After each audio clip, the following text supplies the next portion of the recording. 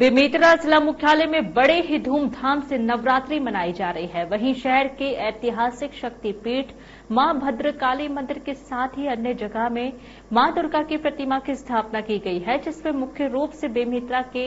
नए bus stand में स्थापित युवा सेवा शक्ति समिति ने वैज्ञानिकों को समर्पित इसरो इंडिया की झांकी को प्रदर्शित किया जिसमें सैटेलाइट के माध्यम से भारत में अपनी क्षमता कैसे बढ़ाई है इसको बताया गया वहीं दूसरी झांकी केदारनाथ के मंदिर की दर्शाई गई जिसे देखने के लिए लोग बड़ी संख्या में उमड़े रहे ये झांकी आकर्षक का केंद्र बनी हुई है